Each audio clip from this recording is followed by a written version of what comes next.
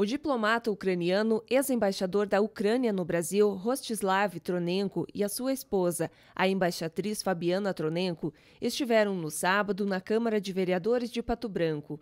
Foi uma audiência pública com relatos de vivências na guerra entre Rússia e Ucrânia. Chegamos como embaixatriz para levar o nosso ponto de vista, eh, não digo a nossa verdade, porque a verdade é única já temos desde 2014 o país agressor, o nosso vizinho, poder nuclear, que aproveita todo o seu potencial militar contra nós. Temos agressor e temos a vítima. E a gente chegou aqui para falar sobre essa dor, esse sofrimento, esse massacre de novo. A embaixatriz Fabiana Tronenko explica qual a motivação da guerra. O que motiva são as riquezas naturais ucranianas, o que motiva é, é tudo aquilo que, vamos supor, eles em 2014 anexaram de forma ilegal o território ucraniano, a península da Crimeia.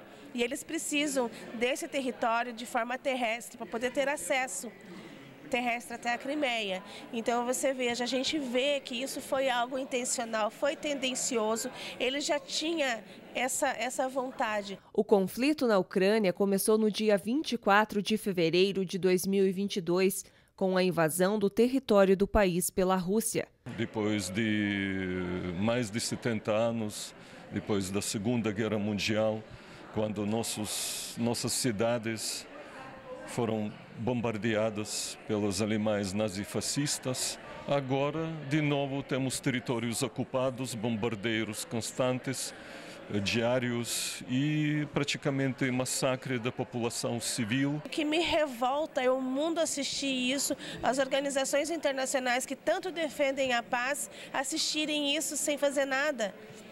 Aí eu te pergunto, qual é a razão de nós termos as fronteiras demarcadas de forma soberana?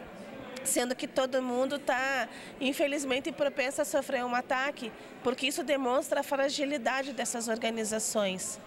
A tensão entre Rússia e Ucrânia passa por diversos momentos da constituição dessas duas nações, situadas no extremo leste da Europa. Desde o fim do século XVIII que o Império Russo sempre agredia o nosso país.